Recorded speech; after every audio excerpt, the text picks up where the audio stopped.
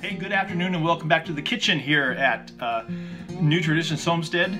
My name is Dan Daniels and I'm going to do a little bit of TikTok talking with you. Um, a subtle homesteader to homesteader warning about ticks in the wintertime. That's why it's called TikTok. I was out working on my woods uh, in December. It's now February 3rd but I was out work, working in my woods in December in the wintertime. It's very, very cold, um, sub zero, teens, single digits, very cold. Uh, clearing uh, honeysuckle on my tractor, walking through the woods, pulling stuff down, walking through the woods, hunting, um, doing all sorts of things on our property uh, uh in December and January. And I got bit by something in the upper part of my back. And I couldn't see it I could feel that there was kind of an itchy thing, but I couldn't see it. Um, so I ignored it because I'm a man. Uh, time went on, still didn't see anything, didn't really feel anything, uh, but eventually saw something by using a mirror that was attached to my back, and I thought maybe it was a, a mole or a skin tag.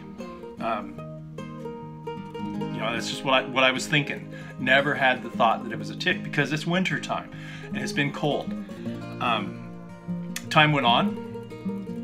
The, the thing on the, the high part of my back got a little bit bigger and uh, just again I was getting getting prepared to go in and see a, a, dermatologist and maybe have it you know frozen off if it was a mole or a skin tag or something like that no pain nothing nothing uh, no symptoms of a Lyme disease at all Finally, my wife did some investigation, saw it, grabbed a hold of it very gingerly, and was able to pull it off. And it resisted because it was attached. So it was definitely, once we got it off, it was definitely a tick. Uh, again, no, none of the big circular targets around the bite, no fatigue, no, no swelling, no lymph nodes, no um, um, fever, no chills, nothing, no symptoms, the typical symptoms of Lyme disease. Couldn't see anything. We had two options. We could do a blood test and uh, wait about six to eight weeks for the results of the blood test. That didn't make a lot of sense to me. Or just start me on a precautionary uh, antibiotic, which is what we decided to do. So, so we're setting up, um, started taking doxycycline, which is an antibiotic that I take twice a day that uh, again precautionary because there's been no symptoms at all of Lyme disease. But I just want to be sure that there there's nothing inside my body that's going to do anything weird. Just wanted to do a precautionary tale to you all, warn everybody that's out doing fences, that's out clearing property because you can get your tractor in, out there because it's frozen. Um, if you're hunting, whatever you're doing out in the woods, be very careful. Check your body.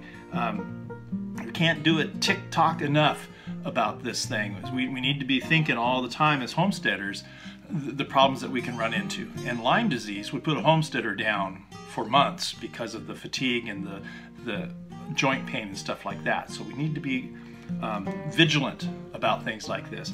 There's been no symptoms, but we want to be sure. And I caution you all, as I know you're doing the same thing that we're doing around here, and maybe some of you live in tick infested areas, but you think it's wintertime, so there's no ticks.